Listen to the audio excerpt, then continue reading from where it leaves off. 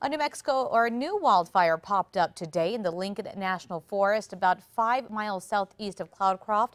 The good news is firefighters were able to keep the Chippeway fire relatively small. The fire began a little before 11 this morning next to a roadway.